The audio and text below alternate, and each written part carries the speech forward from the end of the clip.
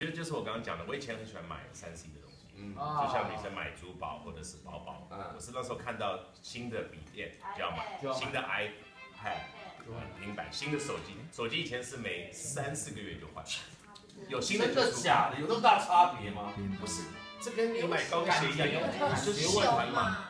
因为有新的，每个东西有个新的功能，你就会去玩玩。哎，以前是滑的，然后这个相机更好，然后怎样就会买，然后就，可是我还是把卖旧的就卖掉嘛，换新的。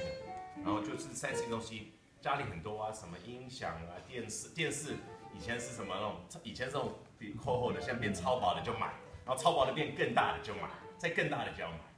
然后它的画面有什么更，它真的什么是更亮啊、更黑呀、啊，你就会去买。真的，可是到最后你会觉得，因为生了小孩之后，你还是会慢慢换，可是后来就变成说越来越慢了。本来是三个月、六个月，现在变一年。你们有看过一个艺人家里面的墙壁都是一晶一幕的？他想做件事情啊，不要这样啊！但那个人应该特别黑嘛，容易晒伤。